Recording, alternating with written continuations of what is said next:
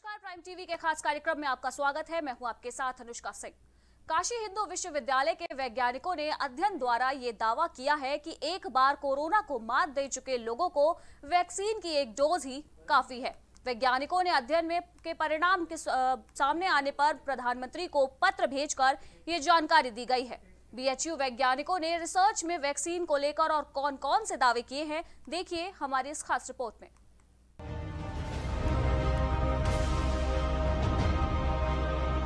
बनारस हिंदू विश्वविद्यालय के वैज्ञानिकों ने अपने शोध में बताया है, एक बार कोरोना संक्रमित होकर ठीक हो चुके व्यक्ति के लिए कोविड वैक्सीन की एक ही डोज काफ़ी है। वैज्ञानिकों का दावा है कि कोरोना संक्रमण से उबरने वाले लोगों में वैक्सीन की पहली डोज 10 दिन के अंदर पर्याप्त एंटीबॉडी बना देती है। बीएचयू वैज्ञानिकों के मुताबिक चूँकि ऐसे व्यक्ति के अंदर वायरस के खिलाफ पहले से एंटीबॉडी मौजूद रहती है और वैक्सीन की एक खुराक के बाद अधिक एंटीबॉडी बनती है, जो संक्रमण से लड़ने में कारगर होती है। जो एक बार भी कोरोना वायरस से संक्रमित नहीं हुए हैं, उनमें कोविड वैक्सीन लगने के बाद एंटीबॉडी बनने में तीन से चार हफ़्ते का समय लगता है।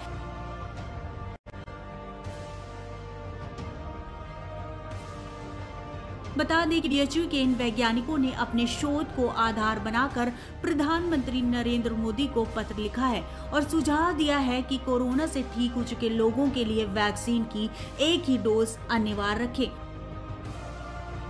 वैज्ञानिकों के मुताबिक, देश में अब तक दो करोड़ से अधिक लोग कोविड संक्रमण को मात दे चुके हैं। ऐसे में अगर इन्हें केवल एक ही डोज लगाए जाए तो वैक्सीन की कमी दूर होगी और ज़्यादा से ज़्यादा लोगों का टीकाकरण हो सकेगा।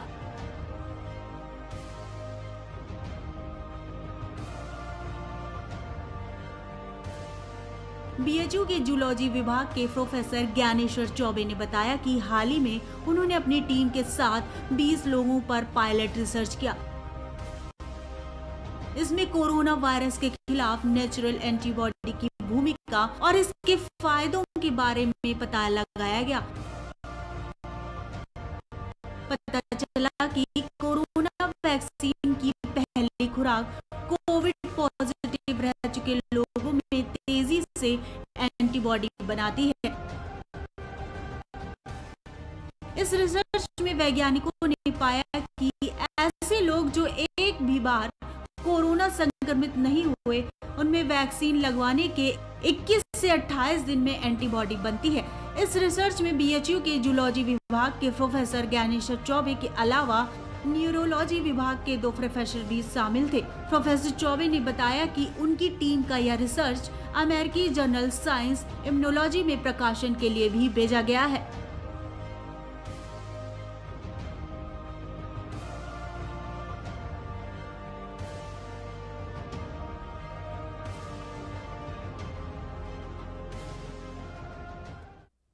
द्वितीय विश्व युद्ध को हुए अब तक करीब आठ दशक से ज़्यादा का वक्त बीत चुका है। लेकिन अमेरिका ने युद्ध के दौरान भारत में लापता हुए अपने 400 सैनिकों के अवशेषों को खोजने के लिए गुजरात का रुख करने का फैसला लिया है, जिसके लिए उसने भारत के एनएफएसयू विभाग से हाथ मिलाया है। तो चलिए जानते हैं कि एनएफएसयू विभाग ने अमेरिका के सैनिकों को ढूँढने के लिए क्या आश्वासन दिया है।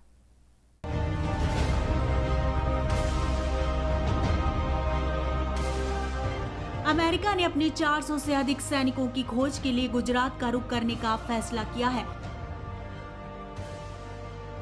दरअसल अमेरिकी रक्षा विभाग ने द्वितीय विश्व युद्ध के दौरान भारत में लापता हुए अपने सैनिकों के अवशेषों को खोजने के प्रयास तेज कर दिए हैं। इसी क्रम में उसने गांधीनगर स्थित राष्ट्रीय फोरेंसिक विज्ञान विश्वविद्यालय एनएफएसयू से हाथ मिलाया है। एनएफएसयू के विशेषज्ञ अमेरिका के रक्षा विभाग के तहत काम करने वाले संगठन डीपीए की मदद करेंगे। डीपीए ऐसा संगठन है जो युद्ध के दौरान लापता और बंदी बनाए गए सैनिकों का लेखा जोखा रखता है। एनएफएसयू में डीपीए की मिशन परियोजना प्रबंधक डॉक्टर गार्गी जानी ने बताया कि अमेरिका के लापता सैनिकों के अवशेषों को खोजने में हर संभव मदद की जाएगी। उन्होंने कहा कि इस संबंध में एनएफएसयू और डीपीए ने खास रणनीति तैयार की है। उसी के अनुरूप काम किया जाएगा।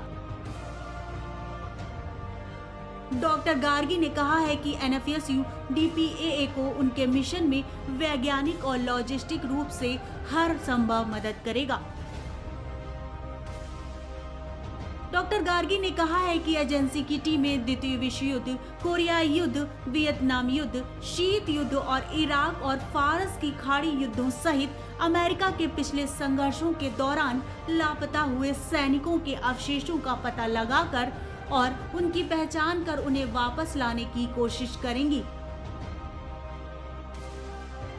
उन्होंने कहा कि द्वितीय विश्व युद्ध कोरियाई युद्ध, वियतनाम युद्ध और शीत युद्ध के दौरान अमेरिका के इक्यासी हज़ार आठ सौ सैनिक लापता हुए हैं, जिनमें से 400 भारत में लापता हुए थे।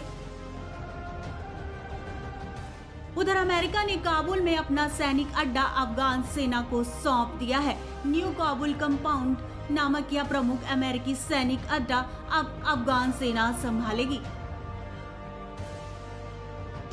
अफ़गानिस्तान के रक्षा मंत्रालय के प्रवक्ता फवाद अमन ने कहा है कि बीते शुक्रवार को एक समारोह में अमेरिका और नाटो बल कमांडर जनरल स्कॉट मिलर ने अंतर्राष्ट्रीय समुदाय से अफगान बलों का समर्थन जारी रखने को कहा है। बता दें कि अमेरिका और नाटो सेनाओं की वापसी एक मई से शुरू हो गई है। पेंटागन अधिकारियों का कहना है कि अमेरिका ने संपूर्ण वापसी प्रक्रिया का 25 फ़ीसदी काम पूरा कर लिया है।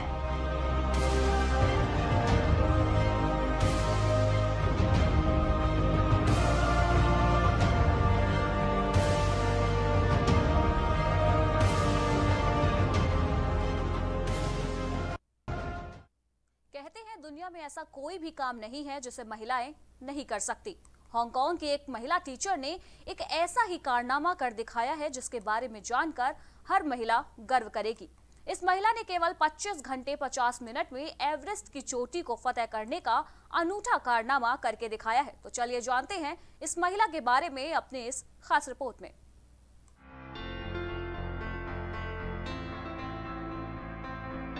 दुनिया में ऐसा कोई काम नहीं है जिसे महिलाएँ ना कर सकती हों। जी हाँ हांगकांग की एक महिला टीचर ने ऐसा कारनामा कर दिखाया है, जिसके बारे में जानकर हर महिला गर्व करेगी जानकारी के मुताबिक हांगकांग की रहने वाली सांग इन ने केवल 25 घंटे 50 मिनट में एवरेस्ट की चोटी को फतेह करने का अनूठा कारनामा करके दिखाया है इतनी तेज़ी के साथ दुनिया की सबसे ऊँची चोटी एवरेस्ट पर चढ़ने वाली वे दुनिया की पहली महिला हैं। जानकारी के मुताबिक 44 साल की सांग इन हुंग ने अपने सपने को पूरा करने के लिए चार साल तक पर्वतारोहण की गहन ट्रेनिंग ली। उसके बाद वे एवरेस्ट की चोटी को फतेह करने के लिए निकली और आखिरकार 23 मई को उन्होंने 26 घंटे में दुनिया की सबसे ऊँची चोटी को छू लिया।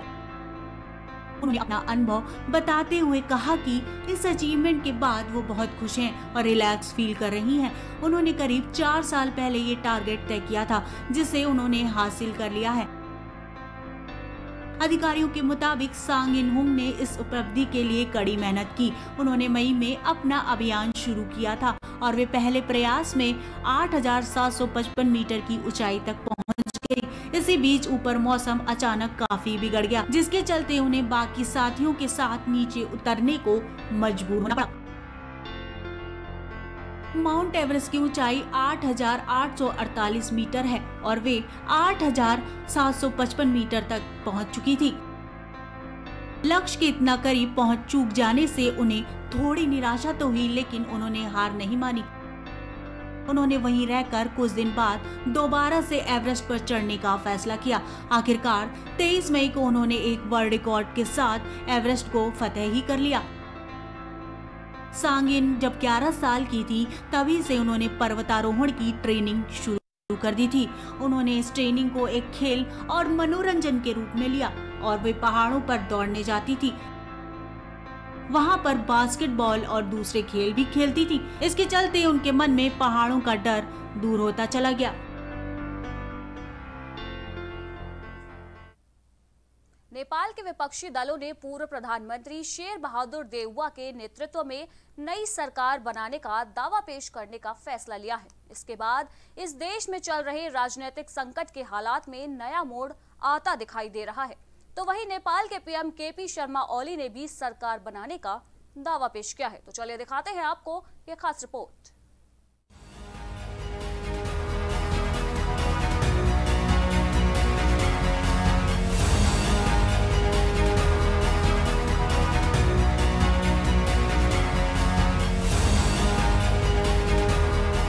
नेपाल के विपक्षी दलों ने पूर्व प्रधानमंत्री शेर बहादुर देउबा के नेतृत्व में नई सरकार बनाने का दावा पेश किया है।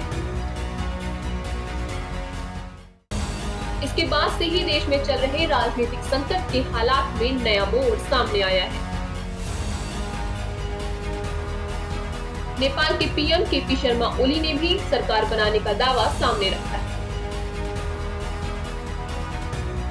उन्होंने सीपीएन यूएमएल के 121 जनता समाजवादी पार्टी के 32 और कुछ अन्य छोटे दलों के समर्थन पत्र के साथ राष्ट्रपति विद्या देवी भंडारी से मुलाकात की।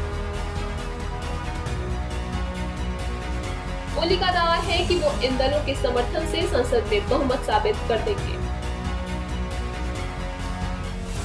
विपक्षी गठबंधन के नेता नई सरकार बनाने का दावा पेश करने के लिए राष्ट्रपति विद्या देवी भंडारी के आधिकारिक आवास पर Nepali Congress Communist Party of Nepal, Janata Samajwadi Party के उपेंद्र यादव, नीत धड़े और सत्तारूढ़ सीपीएन यूएमएल के माधव नेपाल, नीत धड़े समेत विपक्षी गठबंधन ने प्रतिनिधि सभा में एक सौ उनचास सदस्यों का समर्थन होने का दावा किया। नेपाली कांग्रेस के वरिष्ठ नेता प्रकाश मान सिंह ने ये जानकारी दी।